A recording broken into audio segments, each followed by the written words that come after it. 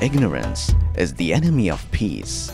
It is therefore our duty to learn, to share, and to live together by the tenets of faith and the spirit of mutual respect and love.